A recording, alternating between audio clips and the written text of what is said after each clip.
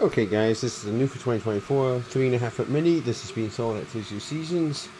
Uh, it's got one LED right here. Then it has a medium sized cheap fan. Unfortunately, this came in a plain brown box as well. Not in a nice Disney box like this. Um, it's pretty nice. Goes with this Mickey, of course. Um. I wish, of, course, I wish all little, little tiny inflatables like this have two, two or three LEDs. Unfortunately, it just has one in the face. Um, nothing really else to say. Um, yeah, that's pretty much it. Close-up details, gloves, shoes. Yeah, pretty much it. Let's see the.